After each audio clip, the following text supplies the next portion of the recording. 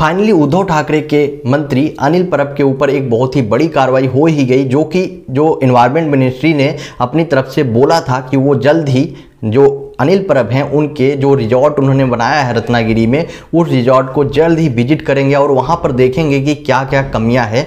तो उन सब चीज़ों को लेकर अभी अभी एक बड़ी अपडेट आ रही है। वहाँ पर कल जो है इन्वायरमेंट मिनिस्ट्री के जो टीम है, वो पहुँचे थे और वहाँ पर उन्होंने पूरी सही तरीके से इंक्वायरी की। सबसे बड़ी बात कि उनको इसमें कई लूप होल मिले हैं और कई सारा सारा जो कि इलीगल तरीके से पहले ही पता था कि वहाँ पे वो सारी की सारी जो प्रॉपर्टी बनाई जा रही है, वो इलीगल है। तो उनको इसके, इससे रिलेटेड सारे के सारे एविडेंस उन्होंने इकट्ठा किया है और जो साइन रिजॉर्ट है, उसमें पहुँच जो इन्वायरमेंट मिनिस्ट्री की टीम है, उन्होंने बाकायदा अपनी हिसाब से इंक्वायरी की। और सबसे बड़ी बात कि ये सारी की सारी इंक्वायरी करने के बाद वो फिर से दिल्ली रिटर्न हो चुके हैं और उनके द्वारा सीधा सीधा बोला गया है कि एक या दो दिन में जल्द ही इस पे जो भी रिपोर्ट है, वो फाइनल रिपोर्ट सबमिट की जाएगी और हो सकता है कि उस टाइम अनिल परब के खिलाफ जो है बड़ी कार्रवाई की जाए। और मैक्सिमम चांसेस है कि अगर कोई बड़ी कार्रवाई की जाएगी अनिल परब के ऊपर तो अनिल परब को गिरफ़्तार भी किया जा सकता है, क्योंकि वो जो है एक इलीगल जहाँ पे नो डेवलपमेंट जोन है, उस डेवलपमेंट नो डेवलपमेंट जोन में ये प्रॉपर्टी पूरी की पूरी खड़ी की जा रही है,